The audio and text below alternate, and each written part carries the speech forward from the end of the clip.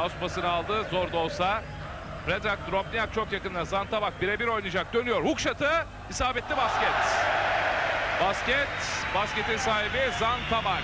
Bizden Milic'i de seyrederiz diye geldiler ama Milic'in lisansı hazır olmadığı için yiyemiyormuş. Bu Türkiye için geçer tabii. Avrupa Tabii. lisansıyla Zantabak'ın bir güzel basketini seyrettik. Smart basket. Evet. Diyor. 19-14 yaptı skor Efes Bilsen. Fark yeniden 5 sayı. Zantabak yüksek posttan potalı bir atış.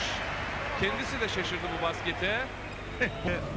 Potadan e, uzaklaşmış olacak. Zantabak smart basket Fenerbahçe ve Fenerbahçe öne geçiyor Efes Pilsen karşısında. Fenerbahçe'nin koçu Ali Ünler ekranlarınıza geldi. Buckley'nin bu 8. sayısı.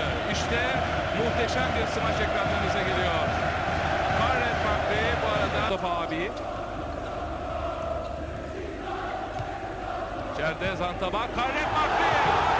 Adeta bir önceki pozisyonun tekrarı. Taşma öncesinde Fenerbahçe'nin bir galibiyeti, iki yenilgisi, 4 puanı var 8. sırada. Efes Pilsense bütün maçlarını kazandı. Lider durumda. Zantabak basketi kaçırmıyor pota altında. Serdar tekrar ortaya geçti. Zantabak birebir oynayacak Hüseyin kapatıyor dışarıya. Mustafa abi. Hüseyin isabetli. Mustafa abi bu maçın görünmeyen kahramanı demiştik. O da 3 sayı. Murat İbrahim. İbrahim geriye çekiliyor atışı isabetli. Zantabak diyor basket.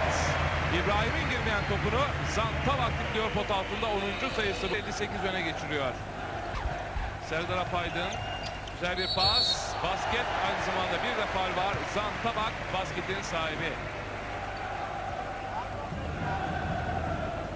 Faul yapan oyuncu Ufuk Sarıca. Ufuk Sarıca'nın bu üçüncü faulü değerli seyirciler. İşte bu pozisyonda Zantaba Ufuk